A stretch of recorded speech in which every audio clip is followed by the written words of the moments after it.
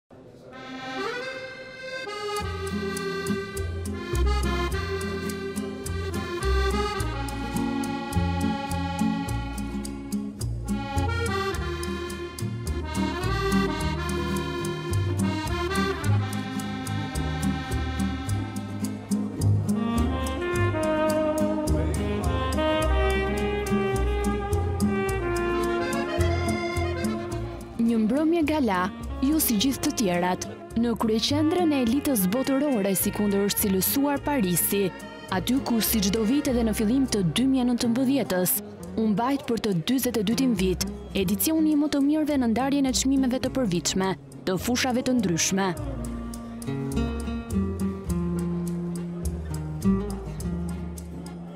Personalitete nga fusha të ndryshme, figura të njohura dhe të suksesshme nga gjithë bota u mblodhën në natën gala të çmimeve për më të mirët.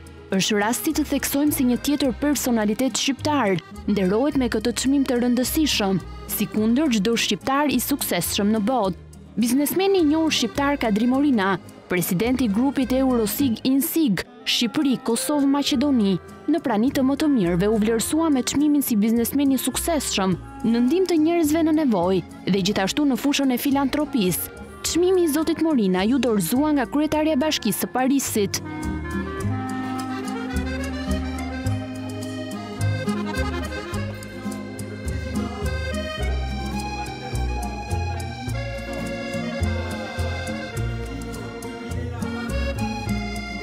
Marrjen e këtij çmimi kaq të rëndësishëm për të, biznesmeni Morina e konsideron një privilegj, pasi ky çmim më parë u është dhënë edhe mjaft personaliteteve me emër në botë.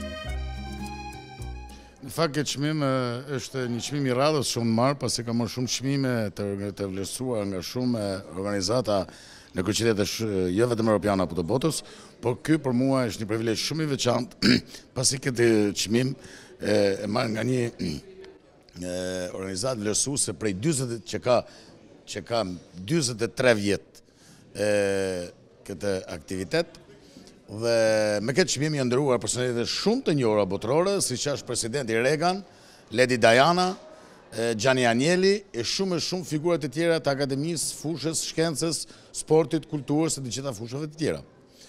Kjo është vetëm një detyrim për mua, për bizneset e mia dhe sukseset e mia që kam arrit deri tani, që akoma më tutje, kupton, unë t'i vë detyra vetes që të jem në avangard me kohën dhe me jetën. Ambasadori i Republikës së Shqipërisë në Francë, Dritan Tola, e cilësoi biznesmenin Morina si pionier të kapitalizmit shqiptar dhe tha se figura të tilla i duhen Shqipërisë. Këtë vit çmimi ndër të tjera iu dha dhe një shqiptari, siç e thamë, zotit Kadri Morina, i cili nga një anë është përfaqësues i shquar i botës biznesit në Shqipëri, po me aktivitetet e tij dhe në botë, Përfaqësues le të themi një nga pionierët e kapitalizmit shqiptar, por kapitalizëm me fytyrë njerëzore, me fytyrë humane, pikërisht për shkak të aktiviteteve që ai ka zhvilluar dhe në fushën sociale, veçanërisht në ndihmë të, të fëmijëve të në nevojë, por edhe në fusha të tjera. Në këtë kuptim, mendoj se është është është krenari le të themi për për ne apo për komunitetin shqiptar në Francë që personazhe, personalitete të këtilla nderohen me me me me me këtë çmim për veprimtarinë e tyre, pra një farë mënyrë shpërblehen nga ana morale për për për kontributin që kanë dhënë, por nga ana tjetër shërbejnë dhe për rritjen e imazhit të Shqipërisë dhe të shqiptarëve në vende të mëdha, veçanërisht si Franca, vend i madh kulture, por në këtë kuptim është është një ngjarje vërtet e veçantë dhe unë Pata rastin ta uroj dhe zotin Morina për këtë, siç patën rastin ta urojnë edhe personalitete të tjera franceze që ndodheshin sonte në këtë mbrëmje gala. Pjesëmarrës në të njëjtin event, vlerësime për biznesmenin Morina shprehën edhe personalitete të tjera akademike dhe lektorë, si në fushën e edukimit dhe kërkimit shkencor, edhe në fusha të tjera. Është një kënaqësi e madhe që unë sot mora çmimin e filantropisë dhe uroj që ky event të zhvillohet edhe në Shqipëri. Çmimi The Best është një çmim prestigjioz. Unë jam një biznesmen i ri dhe ndjehem i privilegjuar që e mora këtë çmim në krah të mikut tim nga Shqipëria, Kadri Morina. Fakti që u vlerësua në këtë mbrëmje gala një biznesmen shqiptar, nuk kishte si t'i shpëtonte retorikës së anëtarit të Akademisë së Shkencave të Parisit, Jean-Marie Rouart, në kuadër të vlerësimeve edhe një emër i njohur në fushën e letrave, sikundër është shkrimtari shqiptar me famë botërore Ismail Kadare. Sot është një nga mbrëmjet më të veçanta në Paris. Unë kam takuar edhe shkrimtarin Ismail Kadare nga Shqipëria. Kadare është shkrimtari më i mirë në Shqipëri. Vlerësoj zotin Morina për kontributin e tij të dhënë dhe figura të tilla na duhen gjithmonë. Mbrëmja gala e cila zgjati për më shumë se katër orë u shoqërua edhe me zhvillimin e një ankandi, ku me shumën e blerjes së një unaze të ardhurat do të shkojnë në ndihmë të fëmijëve sirianë. Pas fitimit të çmimit për bamirësi dhe filantropi një tjetër donacion u bë nga biznesmeni shqiptar Kadri Morina.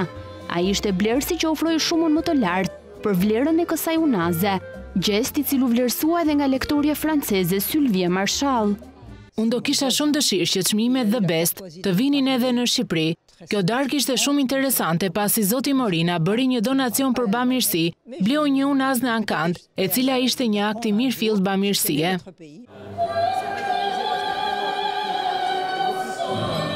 Mbrëmja vijoi nën tingujt e muzikës franceze në violinë dhe kitarë, ndërsa u ndanë edhe të tjera çmime. Nuk mund të mungonin në këtë event kaq të rëndësishëm, aktorja franceze Mia Frye dhe modelja Patricia Contreras, të cilat theksuan rëndësinë e këtij eventi të kthyer në një traditë të përvitshme në Paris. Unë vij çdo vit në këtë event të rëndësishëm, i cili falënderon njerëz të cilët kontribojnë në vende të ndryshme duke ndihmuar njerëzit në nevojë. Iniciativa të tilla janë të domosdoshme dhe evente të tilla duhet të zhvillohen gjithmonë.